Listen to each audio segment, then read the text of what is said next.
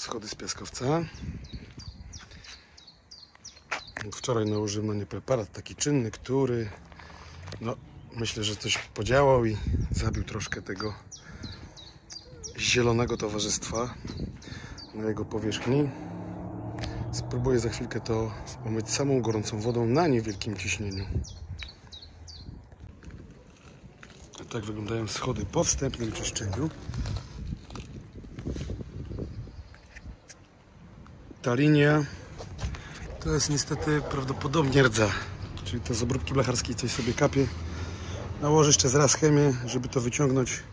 Zostawiam to do poniedziałku. W poniedziałek postaram się zdjąć tu mm, plamę z rdzy i chyba schody wyglądają nieźle. Dzień drugi. Jeszcze raz schody przepłukane. Zacząłem dzisiaj w ogóle od przepłukania tych schodów. Eee, I biorę się za czyszczenie kostki.